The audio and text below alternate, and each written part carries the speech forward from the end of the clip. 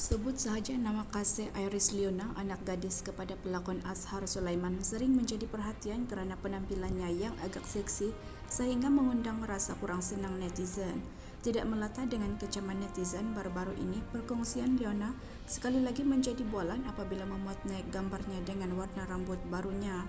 Menerusi foto itu, Leona dilihat memakai skirt berwarna hitam yang mendedahkan bahagian dadanya sedang duduk di atas lantai memetik portal murai, hasil tinjauan di Twitter, rata-rata netizen memuji kecantikan Leona. Malah perkongsian gambar tersebut mendapat lebih 2000 like.